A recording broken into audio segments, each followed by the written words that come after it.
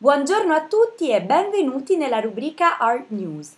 Per la rassegna stampa di questa settimana cominciamo con un articolo del venerdì di Repubblica del 18 gennaio. Siamo alla pagina 94 e l'articolo si intitola La magnifica ossessione, il Caravaggio di Manara. Manara disegna e reinventa la storia di Caravaggio, la sua passione per l'artista è nata già al liceo, dice, quando alla maturità ha discusso proprio dell'arte di eh, Caravaggio, per la prima volta usa il computer per il colore.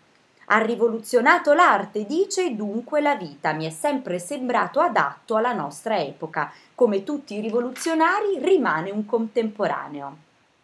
Si tratta di due volumi che usciranno nel corso di due anni e un'uscita è prevista invece in rivista a metà febbraio in Francia, a settembre uscirà invece il primo volume contemporaneamente in Spagna, Stati Uniti, Francia e Italia da Panini.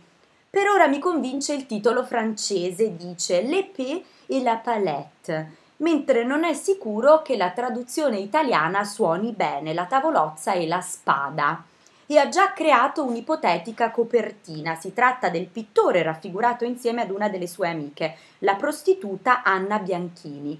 Il taglio della storia è chiaramente avventuroso, dice eh, Manara, e ci racconta poi un po' di sé del suo mestiere. È una gran palestra di artigianato. Dice: Se non disegno tutti i giorni, anche io mi arrugginisco. Bene, ci spostiamo sul messaggero, sulla cronaca di Roma di domenica 20 gennaio, siamo alla pagina 45 e l'articolo si intitola La giovane mummia che rinasce.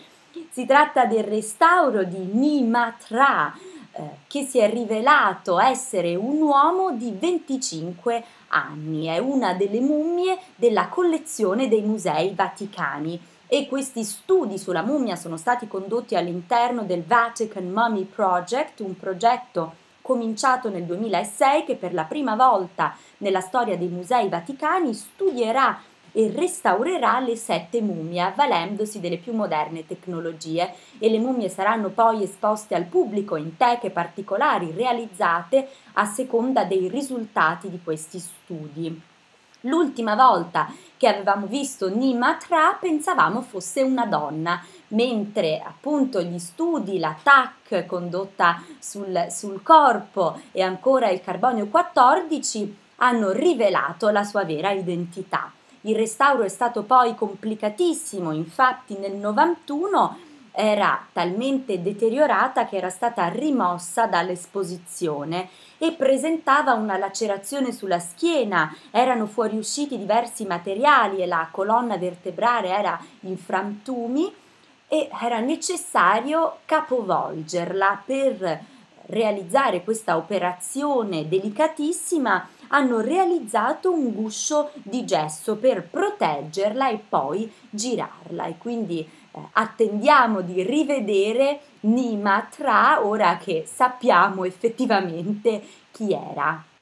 Bene, io vi ringrazio, un saluto a tutti e ci vediamo la prossima settimana. Ciao ciao!